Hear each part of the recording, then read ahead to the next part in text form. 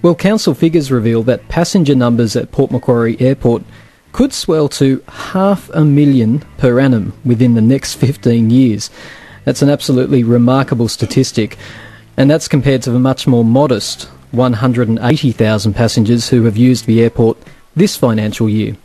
With that sort of growth, it isn't surprising that Port Macquarie Hastings Council is currently formulating a master plan to ensure the region's airport facilities can cope with the predicted surge in passengers. But what exactly are the best options for Port Macquarie? One of my guests tonight believes the airport needs to be relocated altogether.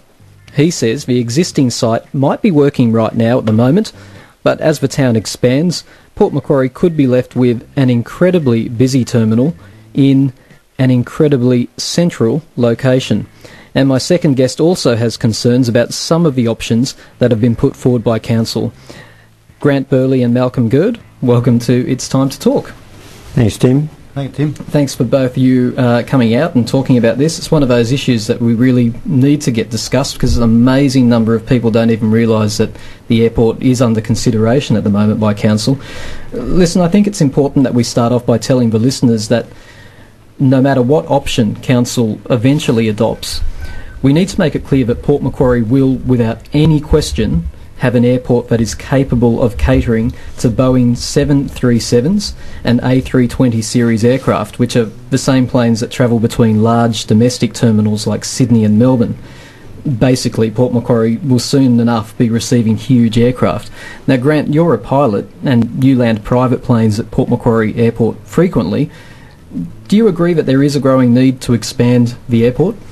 Yeah, Tim. I think the um, the the issue is that, um, as you as you pointed out, um, we have a, a growing area, the Central Coast becoming more popular, and there's no doubt there's going to be increased um, demand for um, passenger travel in and out of the airport. And of course, the issue the council is uh, grappling with is that the current facilities, certainly in the in the longer, the medium and longer term, are not going to be conducive to the sort of aircraft requirements that the um, that the current uh, runway and the airport facilities um, entail. How long have you been landing planes at Port Macquarie Airport? Uh, we have actually got our own strip, my wife and I, Kim, and unfortunately she couldn't turn up tonight, but we've actually got our own strip um, south down at uh, Johns River, so we don't land there that often, but we come in for refueling and uh, and what have you, but um, okay. probably nine years or so. Wow, and uh, so what I'm curious about though is have you noticed a difference, like with the increased traffic, has it become yeah, the, a busier centre? It's uh, Port Macquarie's quite a unique airport uh, in Australian terms because it is not um, controlled, like certainly like Coffs Harbour and many of the other um, busy airports airports like Albury, Coffs Harbour, a number of other ones. Sorry, what do you mean it's not controlled? Control. We don't have a, um, a tower ah. facility at Port Macquarie, so okay. air traffic control, and yet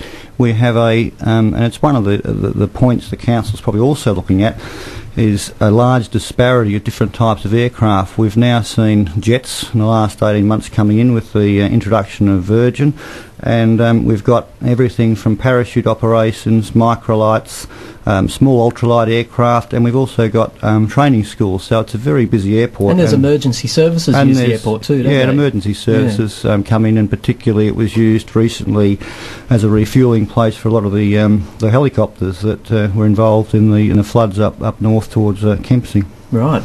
So, in other words, you're in agreement that the airport needs to be upgraded. It's a busy centre, but what we're discussing here tonight is exactly how should it be upgraded. And council have a discussion paper at the moment. Uh, apparently, submissions have closed for it, but it's still up for discussion. I make that point very clear, even though I'll get to council saying otherwise. I'll talk about that a bit later. But um, the discussion paper, which was released by council, it highlighted a number of areas that needed attention. It included the car park, the actual terminal itself, and of course the runway, which is what you're here to talk about tonight, Grant. But Malcolm, if the car park and the terminal are already at capacity during peak times, and anyone who goes there um, to the airport, they know how busy it's getting out there. It probably is time to start putting future plans in place at the very least. But you feel strongly, Malcolm, about about this, don't you? You you don't want the existing airport upgraded any further, but instead you'd like to see a new airport established somewhere else. Can you explain to us exactly what you'd like to see happen? Sure, Tim. It seems to me that uh, that location has been uh, that the airport location has been current since 1953. Now, this is a whole different city than it was in 1953, and to to upgrade it to me seems to be short-sighted. I'm sure that, well, I feel that uh, maybe it should be moved now to save a double move. Because you think eventually, somewhere in the future, it's going to need to be moved anyway. I feel sure it will. Mm. So, Uh, and Grant, uh, I know that you're predominantly concerned about the runways, but if we can just start here with the location of the airport, because it's it's a good question to have. Uh, Do you think that it is a debate that the community should be having having about where the airport should be located? Well, the question is where would you put another airport? I think that's the first point. And the, and the second point is um, all councils are operating with budgetary uh, constraints, and so it's a matter of trying to work with trying to get the best outcome for all concerned, but at the same time to meet the budgetary constraints. Um, one of the issues with um, with moving it is it is it's a massive cost, whereas the cost of um, fixing the existing runway or relocating another runway nearby is not nearly the, the cost, and so the uh, the question still remains as to whether whether it could be moved in entirety and where you would move it to. I'm I'm I'm coming from the position that.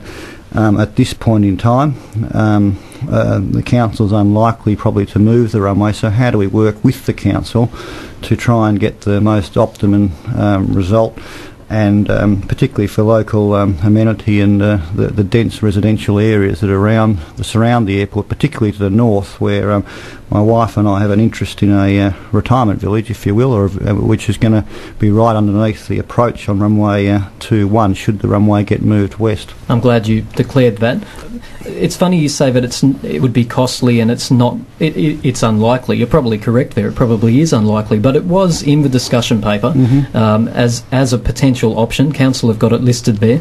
Um, I'll just read out what it said in there for the for the listeners. A further long term option for consideration, according to council, is that of moving the airport to a new site altogether to serve the Port Macquarie, Hastings, and Mid North Coast region. This option is considered long term greater than 20 years due to the lengthy and comprehensive planning process and environmental investigations necessary to identify basically uh, a new airport site. Malcolm, you've got um, you'd like to see it relocated now because I, I remember you saying, yeah, it would be expensive, but maybe that cost would be made up because they're not going to have to upgrade and eventually move it in the end anyway. Do you have somewhere in mind where you think it would be logical to put it? Well, I've heard two things suggested. One is um, that it, it may be combined with, say, Kempsey Airport and put between the two towns, that is, between Port Macquarie and Kempsey.